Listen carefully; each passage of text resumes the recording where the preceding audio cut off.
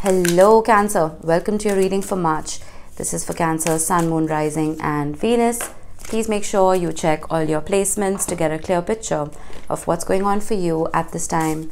As always, this is a general reading. It may or may not resonate for all of you. Please take the bits that do resonate and leave the rest behind for somebody else. All right, Cancer. If you like this reading, any kind of interaction with it, whether it's a like or a comment or a subscribe, will add your energy to the collective pool and it's just going to make it easier for me to read for everybody just a little bit better. Okay. Now, your herbal astrology, beautiful. These cards are just stunning. Blue Lotus, intuition. Quite perfect, is it not? And then we have New Moon in Aries, go for it. All right, let, let me grab the book for the Blue Lotus. All right, now the blue lotus is the perfect combination between the sun energy and the moon energy, right? Which is your physical reality and your emotions, your intuition. Um, this talks about intuitive knowing, unearthing the subconscious, dream work, and initiation. The blue lotus is a direct doorway, a mediator into the world of the gods. The perfected balance that it bestows us assists us in bridging and refining the divine connection between the heart and the brain. Blue Lotus is assisting you in widening the portals of your intuitive powers, granting you access to the realms of inner knowledge held within the great mystery. Remember, the lotus rises from the depths of muddy waters, untouched and impeccable, to blossom into majestic beauty. Don't allow the muddy waters of the blossoming process to suppress your intuition and belief in yourself. Trust the process and believe in the mystery Listen deeply to the guardians of mystery as you unfold from the darkness. Some of you have been through a whole lot to get here, to get to where you are. And sorry for the interruption, I got a call. I was saying, this difficult journey that you have taken, uh, cancer, has beautified you. It's beautified your spirit and externally and internally as well some of you may literally be starting a new exercise regime and it's been in, it's been difficult for you. You may be starting a new diet. You may be pushing your body to its limit in order to reach a certain goal. But and even in relationships i feel like you may have been getting very 10 of wands energy. You've been doing all the grunt work right? And it's just made you a more wholesome being.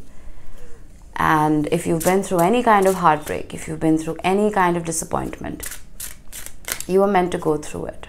I know, it sounds very, very harsh, but you were meant to go through it because it's made you into the person you are today. And it's given you a confidence. It's given you this sense of wonder that if I could go through that, I can go through anything. I can do anything. Okay? Let's see. Beautiful card to start with. We have the world closing out a chapter and starting a brand new one. The star, two major arcana right off the bat. Aquarius energy, healing, wishing upon a star, and having that wish come true. Okay, one after the other, the death card.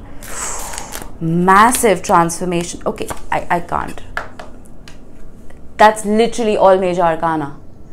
This is not even a monthly reading. I feel like this is this is a few months all all sewn in together. This is major. This is a major, major energy. Wow. It's left me breathless. Let's keep going. The Six of Wands, victory, success. Yeah. Okay, no. This is too much. This is way too much. The Emperor. You have too many major arcana. I think I'm going to cry. I swear to God, this hasn't happened in a very long time, if not ever. The Ace of Wands, beautiful energy. Bottom of the deck, the Four of Swords. Yeah, I need to take a breath as well. Nine of Wands, King of Cups, Nine of Cups, Nine of Pentacles, King of Wands. The Blue Lotus is the most important card in your spread today, Cancer. You've been through a whole lot, my friend.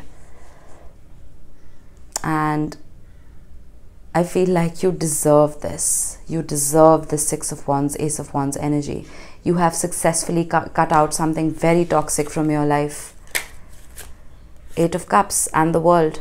You've walked away from something that at some point seemed um, seemed to be home for you. I'm getting something that was the world for you.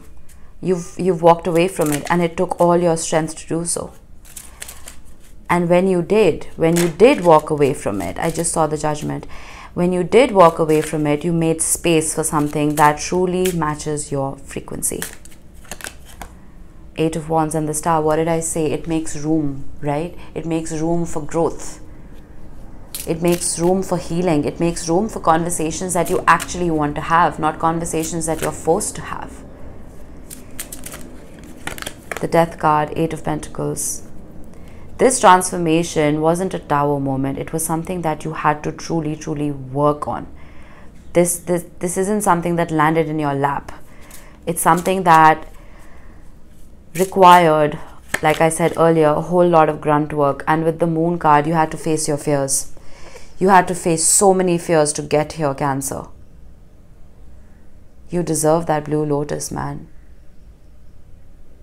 Those waters that you were in were not murky, they were downright toxic. And like they say, dirtier the water, the more beautiful the lotus feel like you had to face a lot of traumas and triggers. Which is why now there's a bounce in your step. Why is the devil here? The Knight of Cups. For some of you, this is literally just a Capricorn coming towards you with a cup of love. But for the others, I feel like you are making sure that the cups of love that are offered to you now carry no trace of poison. Because been there, done that right? There's a new filtration system in place. You're being very careful about who you invite into your life. Why is the Six of Wands here, the Seven of Wands? And you're not settling. You're not settling.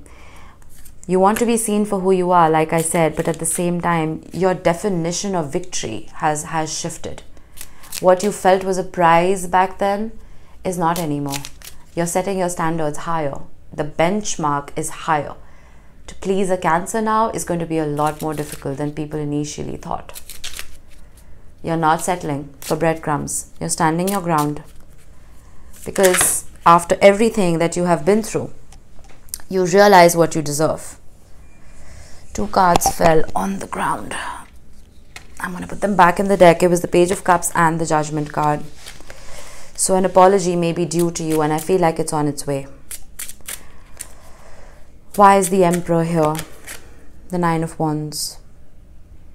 Let me get one more for this. The Six of Swords. For some of you, I feel like you're either just moving on from an Aries, it is possible. For the others, you're moving on from this sense of ego, right? Seven of Pentacles, Five of Swords, and the Devil and you're moving away from short sightedness. Now, the Emperor can be very controlling. This could be even your energy, or it could be the energy of the person you're dealing with. But this sense of always having to, like I said earlier, always having to stand your guard, always having to protect yourself, always having to put boundaries up, it was too much work. I need one more here. The Queen of Swords. And you're cutting this out I feel like you're not operating from a place of pride, right? You're not. You're operating more from a place of logic. It's like the filtration system that I was talking about, it's like you're filtering out that lake that you've grown out of, right? You're making your environment a little less messy. You're making your environment pure and beautiful. Nine of Pentacles, Ten of Cups. Until you, cards are being very strange, sorry. Till you're, um, absolutely sure about what it is that you want in your life and what it is that you're inviting in your life, you're single. Right? You're, you're just depending on your own energy to fulfill you. And you're very comfortable with that. Why is the Hermit here? Nine of Pentacles again. It wanted to show up. Again, the Hermit is isolation. And isolation, not isolation um, just for the heck of isolating yourself. Isolation because you enjoy your own company. Isolation because you are the only constant in your life. And the first and foremost relationship that you need to nurture before inviting another one in is a relationship with yourself because it's been the most long standing. So, this is very healthy. Two of Cups, Eight of Swords, Knight of Swords. Yeah, you don't want to invite in situations and people that again muddy those waters. You know what I mean?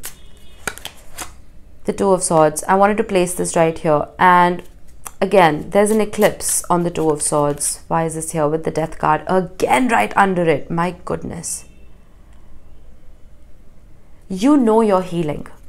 Seven of Swords, Page of Cups, Judgment. You know you're healing. And whatever apologies come your way now, you're not trusting them. I'm not saying you shouldn't. Okay, some of them could very well be very genuine, but there is more work that you have to do within your own self, Cancer. With the death card showing up twice, all of this has happened for a reason, right? And you know it, your intuition has told you that you've been put on this path for a reason. Before you can go for it and have that bounce in your step, you need to be completely and unapologetically comfortable in your own skin. The Knight of Swords wanted to show up. Why is the Ace of Wands here? this reading. This reading is making me so emotional. I can't even. This is the brand new start that you want. With the Ten of freaking Cups, the Emperor, and the world, Four of Pentacles. You deserve this. You deserve this happily ever after. I want a new bottom of the deck. Nope, not happy with that. There we are. Ace of Pentacles with the Two of Cups.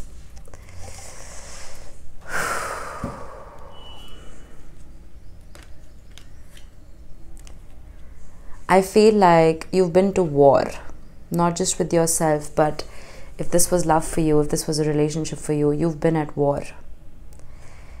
And now you're having the most beautiful homecoming ever. You deserve this happily ever after. And it's coming in, my friend. Wow, what a reading. What a phenomenal reading. I'm almost feeling like this is a massive chapter that you have closed out, Cancer. This is not just another day in Cancer's life. This is this is major. March is going to be very transformational for you. And there are a lot of eyes on you, but good eyes, you know? Because because people are seeing you blossom. People are seeing this glow up after everything that you've been through. It's almost like you've been stuck in your room crying your eyes out and they've been puffy for months. But you have one little spa day and you're radiant because you've released all those toxins. You've cleansed yourself. It's almost this cathartic experience that has completely shined you up. It's buffed you up into this beautiful person inside and out so now you're attracting the right energies in, energies that are stable and passionate and for the long term. Absolutely priceless reading. I can't even. Don't be afraid to be alone just for a little while. You know? Go for that spa day alone. Don't take a friend. Be your own best friend for that day. Because I'm getting emotional.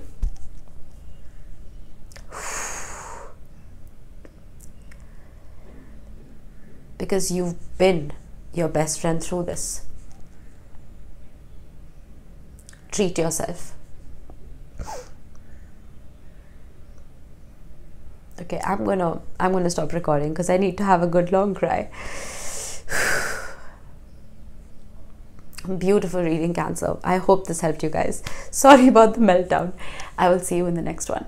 Bye bye.